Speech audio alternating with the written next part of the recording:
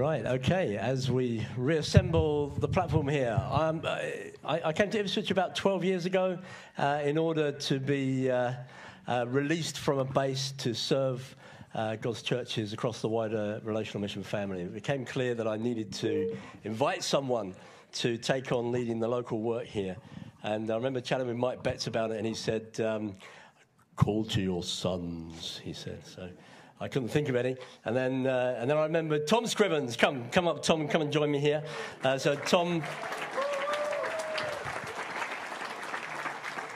Tom grew up in, uh, in the church in Aylsham. I was part of the leadership there. And so I, uh, I thought he was my number one, my number one choice to bring and to, uh, to gather the church here and release me. And I'm very, very proud of this young man. I'm very proud of him. He's done an awesome job. Um, on several fronts, you know, not only has he, he taken the church here and matured it and grown it in beautiful ways, brought us into uh, some exciting adventures. This building represents that as well. But he, uh, I think it's not always easy for young guys to cope with old duffers like me crashing in and out, you know. And, and Tom, Tom copes with that incredibly well. And I could not feel more supported and in a better position than, than I find myself. So I honour this guy. I think he's going to bless us tonight. Uh, so let's just pray for him now, shall we? Let's just reach our hands out to him. Lord, just, uh, yeah, just pray for uh, peace in Tom's heart, Lord. This is uh, it's a home game for him here in familiar territory, Lord. And uh, I just pray he will feel such a freedom, Lord, that you have gifted him, you've anointed him, you've given him uh, insights that are going to bless us and help us tonight. And so inspire, anoint him, give him joy as he, uh, as he blesses us with your word tonight, we pray in Jesus' name. Amen. Amen. Amen. Thank you, Morris. And good evening, everyone. It's great to see you. Welcome from me to Ipswich. It's so exciting that you're here. It's so exciting to think what God might do as hundreds of Holy Spirit filled people spill out onto the streets of Ipswich and into the uh, cafes and restaurants and uh, pubs and wherever else you go. I'm so excited because, uh, as you're going to see as you uh, go around Ipswich tomorrow and in the days to come, this is a great town, but it's also a town with lots and lots of needs as well and people who need to hear about Jesus. And so I want to encourage you. Um, that you have a role to play this week. God might have conversations for you to enter into uh, this week because He is doing something really special here in Ipswich. I do believe that. It's not just that we're going to have some polar bears coming, and it's, it's not just that the football team's doing very well, much to the, the sadness of my Norfolk friends. Um, but God is doing something special here. He's doing something special in this church. Uh, we're seeing people coming to know Jesus. He's doing special things in other churches as well. Um, on Sunday just gone, we um, baptized two Iranians. Um, we, a few weeks before that, baptized another five Iranians.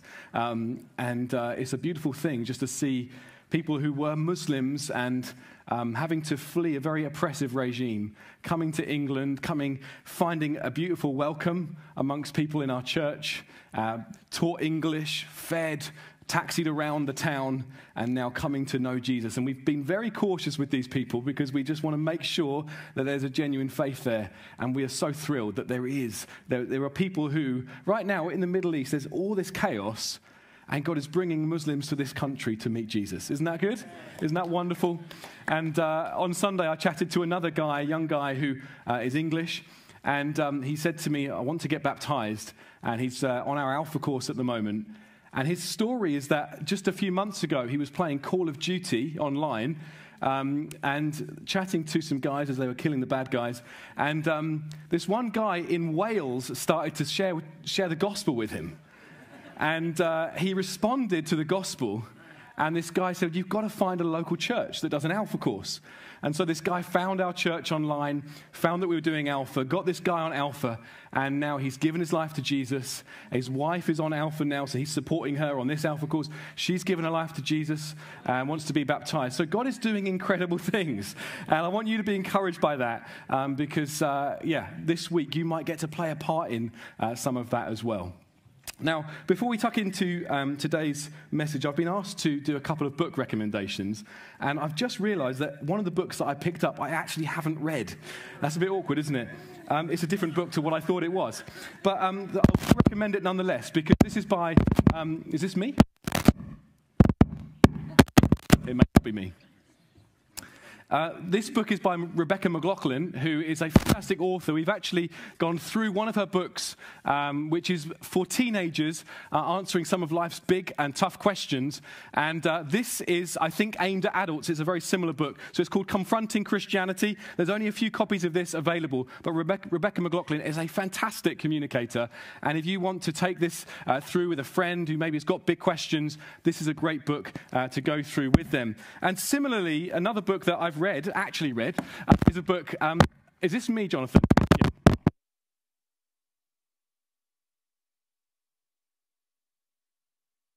Is that a little better? Is that yeah, we'll go with that. Uh, this book is called The Air We Breathe, and it's by Glen Scrivener, um, who's my Australian cousin. Uh, he's not really, um, but he's a, he's a brilliant, uh, brilliant communicator. He's an Anglican guy based in Eastbourne. He is actually Australian, um, and he's written this book called The Air We Breathe. And maybe you've got a friend who kind of says, I wish I could have a faith like you, but I, I could never really believe the things that you believe.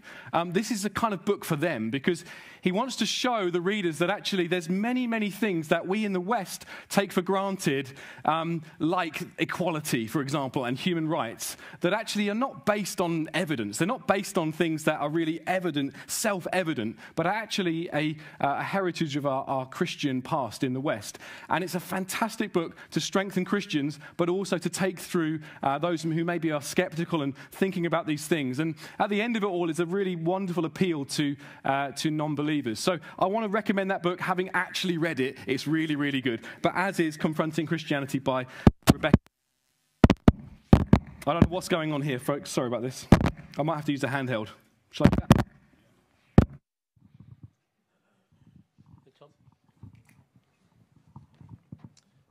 Thank you, Morris. Okay, we're going to be um, diving into John chapter 12 tonight. If you have a Bible with you, we'll go there in a little while. But I was um, amazed just to hear Matt and Helen's um, testimony just now that it was five years ago that these guys set out. And I remember praying with Matt on the last day of the Courage Conference. We had a great time just praying as these guys were about to set out. And to hear what God has done in those five years uh, is really, really, really encouraging. And it was in that week that actually we had a very big week for us as a church here in Ipswich because um, we had um, our church facing the local uh, council with a planning application to basically be able to transfer uh, this building from a place of leisure to a place of worship. And I was leading Sent, which ran alongside the Courage Conference, so I couldn't be here to kind of contend on the church's behalf. And uh, God gave us really good relationship with a local councillor, uh, a lady who went to the meeting and uh, forfeited her vote on the council uh, to basically plead our case for us. And then she went on the local radio afterwards and, uh, and she said that this is going to be great news for the town. And God gave us the planning permission that we needed to move into this building. And over these last five years, we've been on quite a journey, uh, not only renovating this building, but all of the ways in which God has uh, added to us those who are being saved. It's been really encouraging, but it's also been really tough. I wonder if you just think back to the last five years and all that has happened in the world, all that's happened in the church. It was three years ago that we were due to have the call. And as Morris alluded to at the beginning, COVID happened. And we had to learn a whole bunch of new phrases, a whole bunch of new vocabulary entered our language social distancing, PPE, asymptomatic. Things like uh, epidemiology, words we'd never used before. I don't know what they are in your language, but you would have learned different phrases to kind of deal with the things that we were learning. My, my favorite one and my least favorite one in equal measure was doom scrolling, where we would like at late at night just scroll through our phones and kind of hear the latest predictions of doom that were coming to us about how long we would be in this pandemic. We had to get our heads around a lot of stuff. I think that by the end of it, half of us here could probably have a good stab at an epidemiology degree. You know, we, we actually knew enough to kind of get some sort of qualification in infectious disease. It was that kind of, we had to get our head around a lot. But it was also really tough because we were asking ourselves, when will this end? When will I be able to see my loved ones again? When will I be able to see my church family again? It was hard work leading churches in that time, wasn't it? It might seem like a long time ago. It was only about two years ago that it all kind of came to an end. It was hard work leading churches and leading teams when you couldn't see each other and you kind of had to do Zoom meetings and you couldn't really tell whether someone was actually secretly playing solitaire whilst you were trying to speak. You, you couldn't actually have one to one meetings and find out how each other were really doing. It was so difficult. It was frustrating having to preach to a camera and you nailed the perfect take, and then you go to the camera and then you realize it wasn't even on in the first place. And then when you finally actually get it right, you upload it to YouTube, and then the next day you see, hey, we've got 250 views. This is amazing. But then someone tells you you can actually click on that view count to see what the average view time was. And it was about two and a half minutes. And you realize all this effort, and people are watching for two and a half minutes. It was really, really hard work. It was heartbreaking not to see church family in that time. Some of our church family, hey, they never came back. Anyone know that to be true? Was heartbreaking. Some of us having to say goodbye to loved ones over a screen or wearing PPE. It was a hard time. And then during all of that, there was the murder of George Floyd and the Black Lives Matters protests, and having to get our heads around some really, really big things. Having to get our heads around the hurt and pain that people were feeling and the confusion as to how to process these things.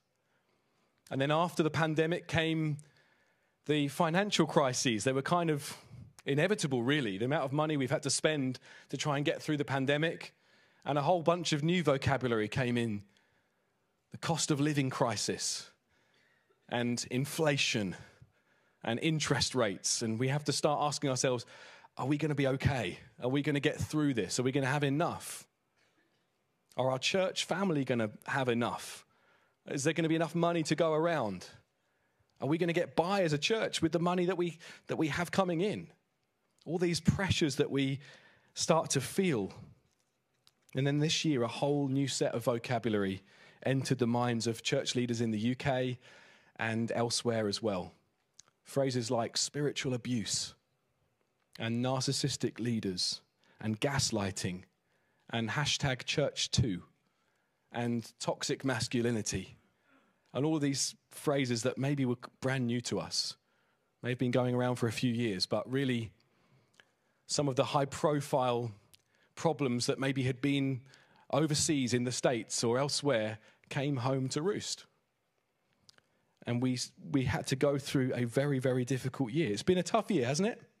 It's been a heartbreaking year. Learning of people really hurting from the way they've been treated in church. We're a people who are passionate about the church. We love the church. The church is to be a beautiful, radiant bride for Jesus. And then when we hear that people in churches have been treated in such bad ways, it's heartbreaking to hear it, isn't it? It's so deeply sad for them, what they've had to go through. But it's also so confusing for those of us who are in leadership. Morris and I have sometimes joked over the years when we've gone through difficult things, or at least it's better than shipwrecks and being whipped. That's kind of like how we've consoled each other at times. At least it's better than that. But we mustn't just kind of grit our teeth and just think, well, you know, we just get through, that's what we do. We've actually got to grieve some of these things and, um, and understand that it, it is really hard sometimes. And yes, there are people across the world going through awful persecution that puts some of these difficulties into the shade in a big way, but it's no less hard. It's no less difficult. Some of the things we have to carry. I'm not just talking to elders of churches here, I'm talking to a bunch of people who are carrying a lot of weight in ministry. It's a downright confusing time. Where's the line between clear biblical shepherding and overly heavy spiritual abuse? Where's that line? Where is it? What's the, the line between healthy max, masculinity and toxic masculinity? Where, where is that? Where is healthy strength and abuse? Where's the line? We've got all these questions floating around. And, and how can we speak into these dynamics without being criticized by people on the sidelines who are, are trying to discern and complain about these things? How, how, how do we do it? I can't be the only one here who has wondered is there any hope of kind of getting through the next 40 or 50 years of ministry without having something labeled at me? Has anyone else found that? Anyone else wondered that? People are more and more susceptible now to being drawn into culture wars. That's a whole nother thing for us to get our heads around. There's tensions erupting in different parts of the world, and now those in our, in our care are, are, are, susceptible to be drawn into culture wars where there's more and more animosity, less and less forgiveness, more and more vocal kind of aggression. It's exhausting sometimes. I need to tell you something that there have been times over these last few years when I thought it might be easier to kind of go back to social work, which is what I did before. There was a, a moment in the, the, the, kind of height of the pandemic um, agony, really, where I kind of, for a couple of hours, thought, I wonder if I've still got that documentation somewhere that will allow me to go back in. I wasn't thinking about turning my back on the church or even on eldership, but I just thought it would be easier just to go and do something else with most of my time. And the Barna Group in America, maybe you've come across this statistic yourself, uh, estimates that 42% of pastors in America have considered quitting in the last three years. So if, if we're anything like that here, then there'll be a number of you here in senior leadership, whether that's in eldership or in, in a team, leading an eldership team, or in other kinds of ministry, and you thought, you know what, it'll just be easier to quit. This is too hard. I can't do this. You wouldn't be alone in that, I'm sure. It's been exhausting at times. As I say, there's much worse stuff going on across the world. We can have that perspective, but we can end up really drained, dried up, dried out, battered. We can find ourselves nostalgic for the past Anyone find themselves thinking back to the good old days?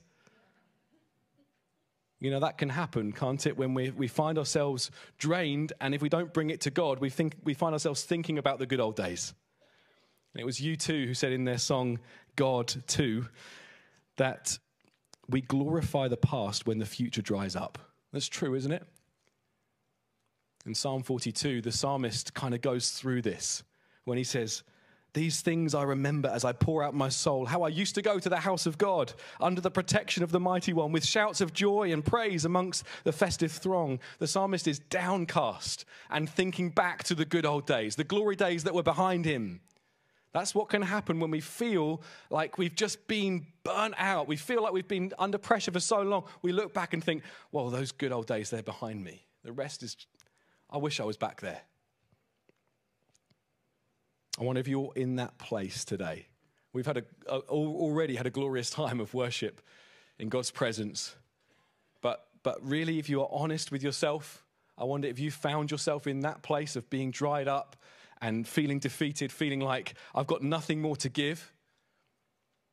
Whether you found yourself in that place of, I think I just want to lay it down. I want to lay the responsibilities down that I have. I want to go back to the good old days of less responsibility. I wonder if you've been in that place. I wonder what you are doing here this week. I wonder what your reason is for being here. Maybe you kind of think, well, questions would be asked if I wasn't here. Maybe you think, I, I, really ought to be there as an example to those that I'm leading. So I ought to be here and I ought to look enthusiastic. I ought to go through the motions. I ought to raise my hands because what would people think if I didn't? They might think I'm in trouble. I don't know what you're doing here this week. I wonder if you've thought about that. I wonder if you could really give an answer to that. Is there a burning joy in your heart when you think of Jesus? Is there a burning joy in your heart when you consider him?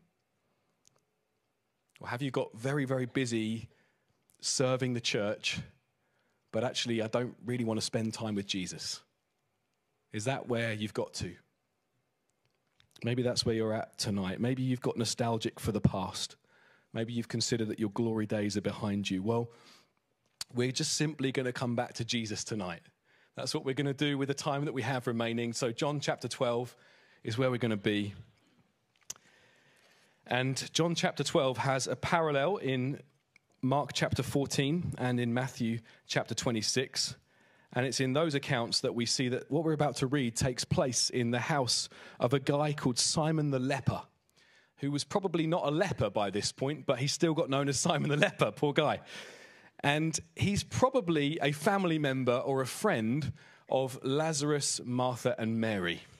He may well be their dad, or he may be a friend who just has a big house, because as we're going to see, this is a meal that is celebrating uh, what Jesus has done for Lazarus. Now, there's a, a, very similar story in Luke chapter 7, which maybe you're familiar with, where a different woman actually anoints Jesus with uh, a really costly oil. And it takes place at the house of a different guy called Simon, Simon the Pharisee. But it's a very different story. It's not the same account. But as I say, Mark and Matthew's accounts we will dive into because they are the same story. So, John chapter 12, let's read the first couple of verses. Six days before the Passover, Jesus came to Bethany, where Lazarus lived, whom Jesus had raised from the dead. Here, a dinner was given in Jesus' honor. Martha served, while Lazarus was among those reclining at the table with him. So, this is a thank you meal for Jesus, who not long before had raised Lazarus from the grave. And I just want you to picture Lazarus for a moment, just reclining at the table with Jesus, and how he would have just been fixated on Jesus. How he would have just, can you imagine the days after his resurrection, after Lazarus was brought out of the grave? Can you just imagine all he would have been thinking about was Jesus? All he, all he would have heard in his mind, just echoing in his mind, was those words Lazarus, come out. And as he sat at the table with Jesus, he's just thinking, this is, this is amazing. This guy brought me from the grave. He's just fixated on Jesus. And Martha's in her place, as she often is, serving, getting everything just right. And then we read on. Then Mary took about half a litre of pure nard, an expensive perfume. She poured it out on Jesus' feet and wiped his feet with her hair.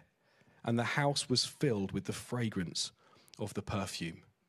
Mary's got a very, very special task at this meal. And I've often thought, maybe you have too, that this was a kind of spontaneous thing. That Mary just suddenly, as they're eating, she kind of runs to the bedroom, gets this perfume, and just thinks, right, now I'm just going to pour it out on Jesus. I think this might have been a planned thing. I think this was a, a planned moment to honor Jesus for what he had done for Lazarus. It would have been very rare for a woman to own something so valuable as this. Matthew and Mark's accounts say that this perfume was worth at least a year's wages. So, in, in modern terms, we're talking £35,000 a year. That's kind of like the average rate wage in this country, or 40,000 euros. This is worth a lot of money this perfume is worth an awful lot of money. It's not Lynx Africa. This is this is this is really good stuff. It's taken it was produced with ingredients taken from the Himalayas. So it had to be carried on, on camelback through mountain passes to kind of reach its destination. This was the best stuff around that she's used to pour out on Jesus' feet. And as we read in Mark and Matthew's account, she actually covers his whole body in this perfume. This wasn't just a little spray, you know, like when you go to the airport and you, when the person isn't looking, the, the shop attendant isn't looking, you don't spray the little white piece of card. You actually spray yourself quickly just so you can smell. We all do it, right? Or is it just me? It's just me. I feel really bad now. Thanks, John. This isn't just a little spray, this is completely covering Jesus in this perfume. And then she wipes his feet with her hair. And women in those days would very rarely un- unbind their hair. And they really only save it for, for their, their husband. This was such a, a, an intimate thing to do to unbind her hair and to wash, wash and wipe Jesus' feet with her hair. She could have used a towel, but her hair was the most beautiful thing she had. And she's saying, You are so worthy that my hair can be a towel for you, Jesus. That was a beautiful thing. And the whole house smells of this fragrance. Can you just picture the scene? It suddenly it overtakes the smell of the amazing food that's being cooked by Martha. It overtakes the smell of the sweat in the room. It would have been a sweaty, hot environment. It overtakes the smell of the, the cattle in the courtyard. And the whole place is just filled with this perfume. And this is the week of Jesus' crucifixion. He would have smelt like that for days. Every now and again would have got another waft of that beautiful thing that Mary did for him. The smell is everywhere. It's powerful stuff.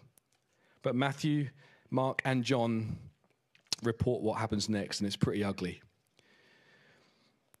One of his disciples, Judas Iscariot, who was later to betray him, objected. Why wasn't this perfume sold and the money given to the poor? It was worth a year's wages.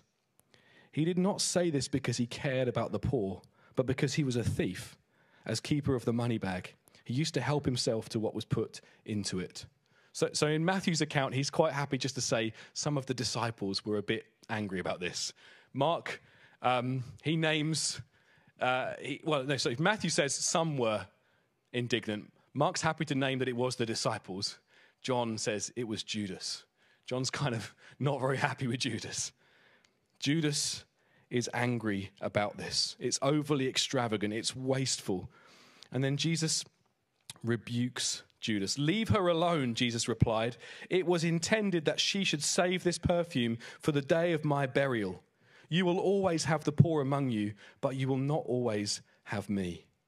Jesus rebukes Judas. He rebukes them in the other accounts because he knows it's not just Judas who is kind of thinking about this. It's not just Judas who thinks this is a wasteful thing. He sees in the, the hearts of the disciples that they think this is wasteful that they think this is over the top. They think it's too extravagant.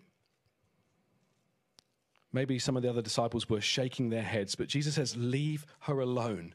This is where she is meant to be. This is the rightful place for a worshiper, abandoned in praise, lavish in devotion, uninhibited in worship, and using her very best and most valuable assets to pour out her love for me. Jesus says, Leave her alone. And it's kind of an awkward moment. It doesn't, John's account doesn't end in a very satisfactory way here. John just kind of gets on with the rest of the story. Well, Matthew and Mark report that it was kind of awkward. This is an awkward moment. How the disciples know this rebuke from Jesus. I'm learning Jesus was quite okay with awkwardness. I'm not okay with awkwardness often. Jesus was okay with awkwardness. And the disciples are kind of feeling this conviction and Jesus says this He wants this story to be told all over the world. This is what Matthew and Mark report that Jesus wants this story to be told all over the world. Wherever the gospel is proclaimed, he wants this story to be told. Now, that's a big deal, isn't it? Because he doesn't say that about the feeding of the 5,000. He doesn't say that about the walking on water. He doesn't say, guys, make sure this is recorded so that everyone hears about it. He says, this story, what Mary has done for me, will be told all around the world, wherever the gospel is proclaimed. And so I think there's some big implications for us and for the churches we serve here. I think there's some big implications maybe for those of us here who are weary and tired and feeling like we might want to quit, or we felt that in recent years, maybe some who are feeling duty bound feeling like some things have grown cold, feeling like I'm just going through the motions, I think there's some things for us here. The first is this that we need to recall the desperate state we were in before we came to know Jesus. We've, we've got to call this to our minds. You notice that the apostles are very, very happy in their writing to bring us back to where we were very happy to say, As for you, you were dead in your sins. Very happy to take people back to where we were at before Christ. And the last time that Mary was at Jesus' feet like this, in chapter 11 and verse 32, she is desperately saying to Jesus, If you had been here, my brother would not have died. This was as desperate as it got for Lazarus and for his sisters. It was desperate. He was totally dead. He wasn't just kind of a bit dead, he was totally dead. It had been a few days and he was starting to smell really bad. Jesus had deliberately left him to die. It says it in, the, in chapter 11 so that they would believe. He had allowed this to happen. And Lazarus was really, really dead and starting to smell really bad. And friends, we've got to recall that this was us. We were totally dead in our trespasses and sins and smelling really bad in the world around us. We were, all of us. Whether we came to know Jesus at seven years old or at 17 years old or at 50 years old, all of us were dead in our trespasses and our sins, just going wherever we wanted to go. Not caring about the boundaries that God had laid out, we trespassed all over them. We didn't love God as we should. We didn't love neighbor as we should. We just went wherever we wanted to go and we stunk because of it. And you might think, hang on a minute, a seven year old's kind of cute. They don't stink. Hey, you're very welcome to serve on our kids' work. You really are. I'd love you to do that. Listen, we all were in that place, dead in our trespasses and sins. No one can say here, well, I was, I was just kind of a bit of a bad boy turned good. I've turned over a new leaf. No one can say here, well, I just kind of, yeah, I learned how to do things right after a little while. A bit of a process, but I learned. No, no, we were dead, totally dead. It was total deadness, and we contributed nothing to the resurrection process. I was preaching on this in Colchester last week, and uh, and someone came up to me after and said, I've actually died six times and been resuscitated six times in my life. I thought, wow, you know what? That person can never have said, Well, I, I did lie in a pretty good position. Uh, like as I was being resuscitated, I made it very easy for those resuscitating me. No, they didn't do anything. They didn't contribute to the process at all. They didn't say, you know, I kept my mouth open at all times. I didn't shut it. No, they were dead. They couldn't do anything about the process. Totally dead. All of us followed the ways of the evil one. We were conformed to the pattern of this world. We gratified the, the cravings of the flesh.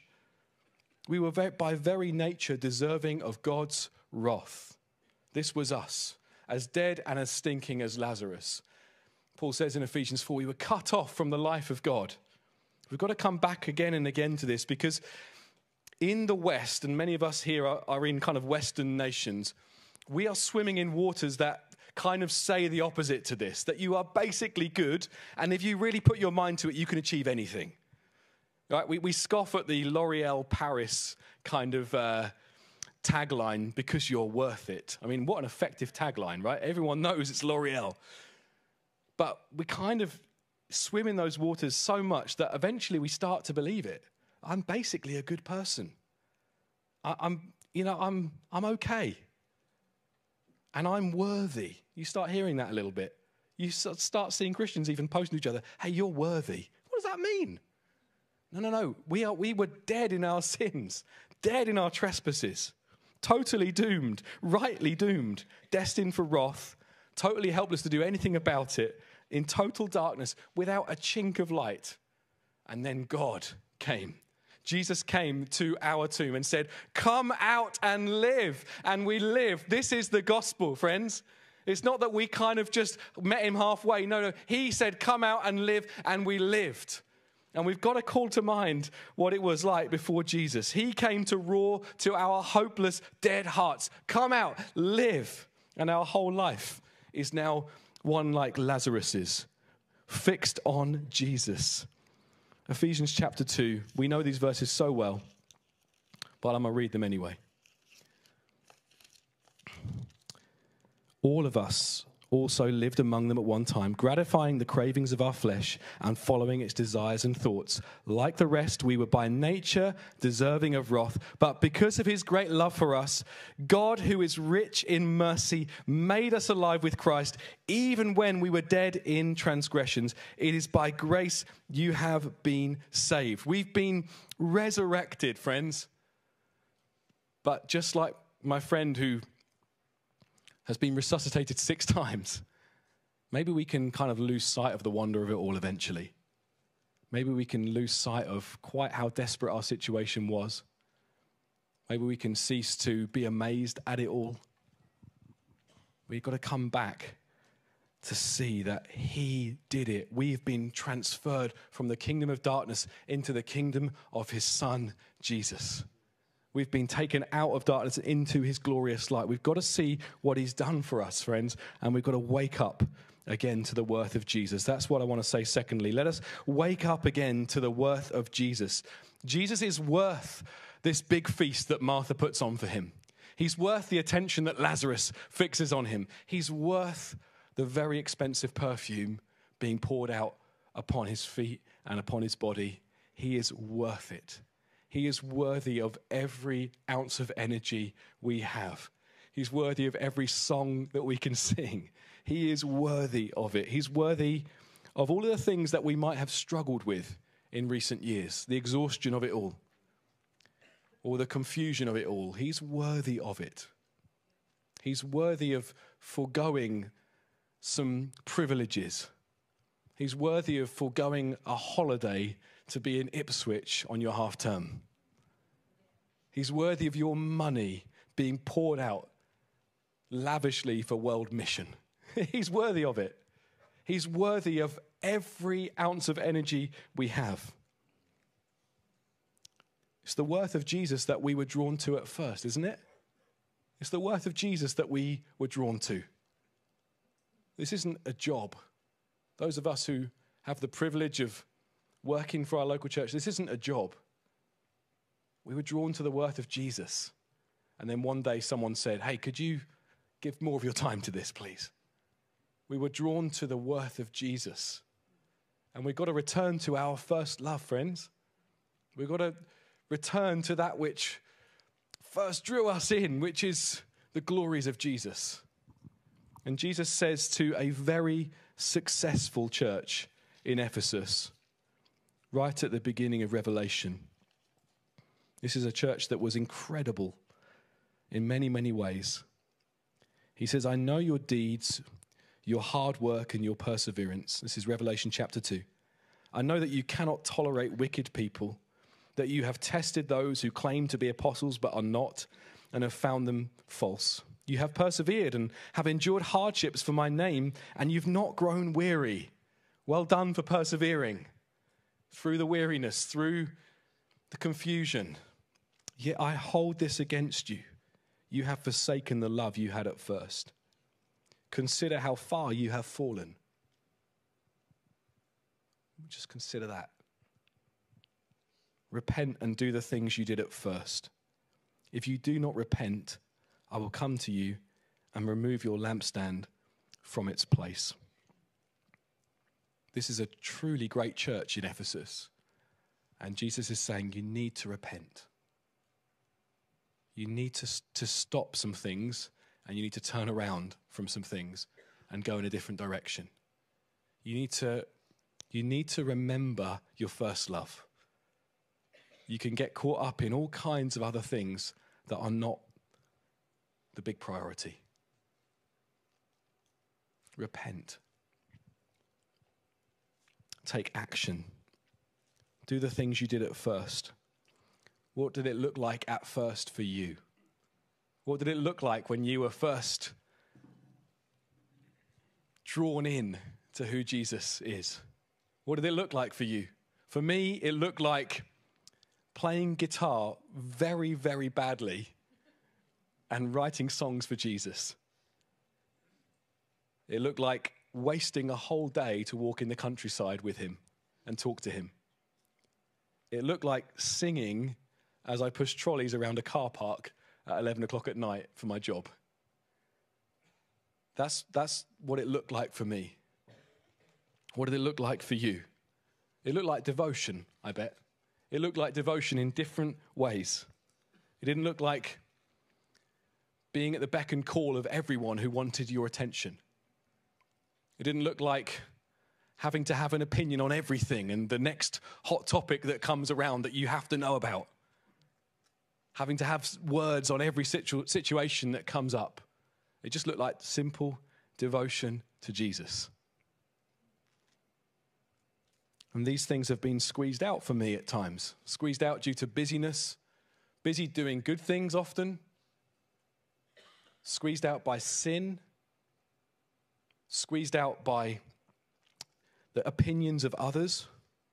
What will people think of me if I went and spend half a day or three days with Jesus and don't come back with a paper that I should have written? What will people think of me? That won't look very productive. It won't look like I've been very efficient. But it's devotion. Squeezed out by the opinions of others. And you know what? It's normally not even that people are even thinking those things. There's just like a, a kind of Judas voice in our mind saying, that is not very productive. That's not very impressive. You see, spending time with Jesus is often, is often not very kind of impressive sounding. But this is what he calls us to return to. Jesus says, Here, I need to repent. I need to turn around and do the things I did at first. Maybe not pushing trolleys around, but just be with Jesus to be ready to be misunderstood because of my devotion to Him, to be ready to write songs again to Him. That will, I'm just going to bet now, will never be sung on the main stage at New Day because they would be kind of not very good. But that to Jesus, they're very, very beautiful. Do you think we got half of David's songs in the Bible? I don't think got, I don't think we got anywhere near half of David's songs in the Bible. Some of them were not as going to be the big hitters like Psalm 23 but they were beautiful to God, really beautiful to Him. This is what Jesus is saying we've got to return to. What she has done for me is beautiful, Jesus says. Just think about that for a moment. Just think about that for a moment. Jesus is stunned by what she's done. Jesus, who created beauty like this that we see on the screen. Jesus, who created beauty like this, is stunned by what she has done for him. She, he is absolutely bowled over by what she's done to the point where he says, This has got to go around the whole world. He is moved by Mary just pouring out her love for him. He's moved by her able, her, just her ability to speak freely with her actions, not being held back by others. She recognized the worth of Jesus. She let down her hair Let's wake up again to the worth of Jesus. Let's return to our first love. Thirdly, let's see that he's of far greater importance than ministry. The poor you'll always have, Jesus says. In Matthew and Mark's accounts, he says, and you can serve them anytime you want. There'll always be ministry. There'll always be ministry to do. There'll always be people to serve. They won't ever go away this need to minister to others. And Jesus' heart is so for the poor. He can't be misunderstood here. He's so for the poor. It's undeniable, but he's clear here that to know and to love him is the number one priority. All our love for others is to flow from our love for him, where we receive his love as he pours out his Holy Spirit into our hearts. See, Mary only gets three mentions in the whole of the Bible, as far as I can tell. One is that she falls at Jesus' feet to beg him and plead with him that if only he was there, her brother would still be alive. Two is when she pours out the perfume on Jesus' feet. The third is when she sat at Jesus' feet while Martha is busy serving everyone. And Jesus says, Martha, Martha, you are troubled and distracted by many things. You are being pulled away from the best thing. Mary's chosen the best portion to be at Jesus' feet every single time.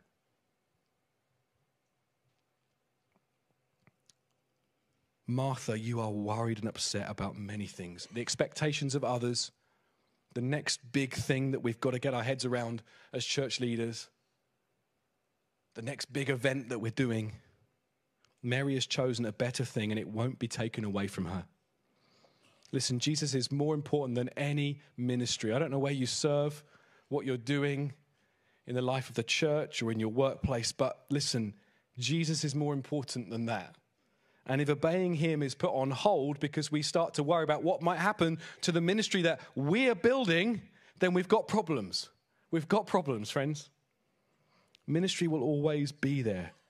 The point of your faith is to enjoy time with Jesus. The point of your faith is to enjoy time with Jesus. The point of your life is to enjoy time with Jesus. This is why you exist, is to walk with Him. All else flows from that. There's distractions everywhere. Technology is such a distraction, isn't it? We, we can't be alone on, on, on our own with God anymore. There was a, a, a study done about six years ago where some people were given the choice to sit in silence for four hours or to have themselves gently shocked with electric shocks over and over again. Two thirds of men chose to be shocked with electric shocks than to sit in silence. The women, it was one quarter of all the women. We, we can't just be before God, we have to have something else going on. We're in a distracted age. It's not easy to choose Jesus. It's often the slow way, it's often the uneventful way. Sometimes I'm asked, you know, how was your prayer walk this morning? It's very, very rarely life changing. It's very rarely that I say, you know what, I had all this amazing kind of wisdom poured into me. It's normally just I sang and I thanked God and I unburdened my heart before Him and I just walked sometimes and just looked at trees. Like it's not very exciting. But I've been with Jesus. I've got to be before Him. And if I'm starved of that, I'm finding if I'm pulled away from that, dragged away from that, I can see my leadership as a duty bound thing. I can see it as a job. I can see it as something that I must do, not a joy thing. I can feel the pressure of things more than I should. I can start to see this as something that I'm building rather than something that God is graciously allowing me to play a part in. Friends, you will always have ministry. Seek Jesus first. Jon Tyson, who's a pastor and author in New York City, he says, You need to say one gigantic yes that helps you say a thousand smaller no's. Say yes to, I'm going to be with Jesus. And everything else will flow from that. You'll be able to say no to a bunch of things. No, I can't do that right now because I've got to be with Jesus. No, I can't commit to that at this moment because I, I know I've got to spend time with Jesus. I've got to be before Him in prayer. It helps you to say no to some other things. I can say no to that distraction because I've got to be before Him. You know, it's only been in the last 100 years that the word priority has been pluralized. Just let that sink in. when it was first used about 600 years ago, it was meant to be about one thing the priority, the one thing that we give ourselves to. And now we talk about priorities. And Jesus can become one of a number of priorities, can't he? He's the priority, he's the big yes. And fourthly, finally, we must proclaim his worth all over the world. Mark and Matthew record these extraordinary words from Jesus. Truly, I tell you, wherever the gospel is preached throughout the world, what she has done will also be told in memory of her. I love how enthusiastic Jesus is. I love that he doesn't just kind of say some half hearted things. He's saying, This is so beautiful. This has got to go everywhere. I'm an enthusiastic guy. Maybe you pick that up. My middle name literally means enthusiasm, and my first name means twin. So I'm like doubly enthusiastic. So Jesus is my guy here because he's saying this has got to go everywhere. This can't just be like, oh, this was a nice thing. This was so beautiful. It's got to go everywhere. He's so thrilled by this act of worship. I wonder what Peter and John and Matthew and others did with that command. I bet they told the story everywhere. I bet they told the story everywhere they went because Jesus has said it. I love that we've articulated our values as a family of churches. I love the values that we're building to word and spirit, the grace of God being such a glorious thing, servant leadership.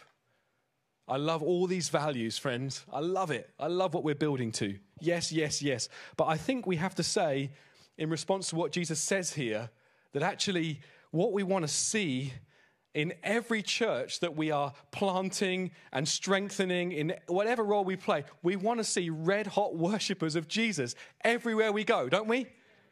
Responding to his great worth, responding to the fact that we were once dead in our trespasses, in our, in our sins, and now he has made us alive in Christ. This is what we want to see. We want to see do people love Jesus or do they love playing church? Do they love being in a club? Do they love the busyness of serving that just brings them out the monotony of life? Do they love Jesus first and foremost? Do they love him or do they like being on, on the right side of a particular culture war? Do they love Jesus? Or do they just come because they think their children could do with some good moral teaching?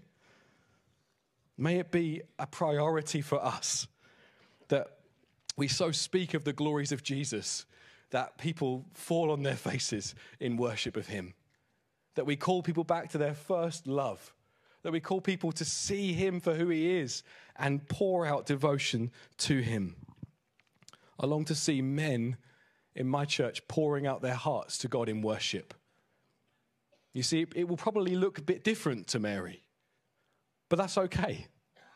Men will express it in different ways, but it's tragic. It is tragic when men pump the air and jump up and down and hug each other and cry with happiness at a football match, and then the next day they're in church and they've got their hands in their pockets. That's tragic. It's absolutely tragic.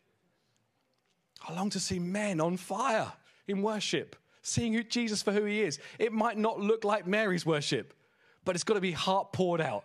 It's got to be. This has got to be a priority for us. We don't want to be cool off. We don't want to be cool in our worship of Him. Men, let us pour our hearts out in worship to Him. Let us model this. May we see wherever we proclaim Christ, wherever we plant churches, that men and women are pouring out their hearts in worship. We can sometimes think that's a bit too full on for visitors. Anyone find themselves thinking that sometimes? I know I've had that thought sometimes.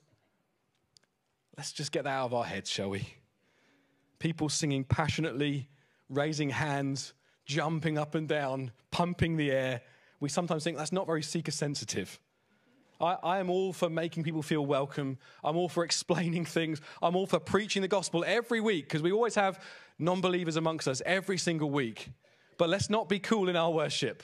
Let's not try and be cool in order to win people because these people will see people passionately pumping the air at a football match and think, well, this is not very exciting in comparison. They've got to see people poured out in worship.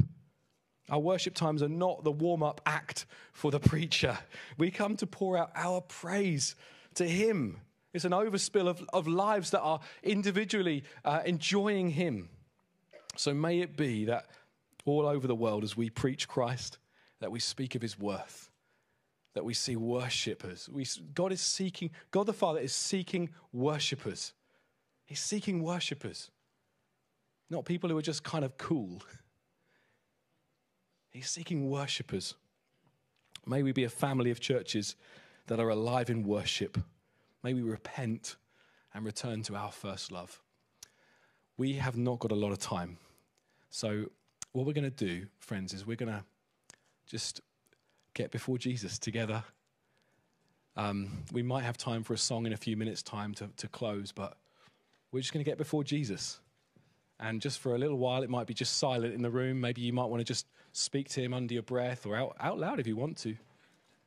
Let's just repent of the times where we have had something else as our first love Sometimes they're good things that just need to be kind of relegated to their rightful place.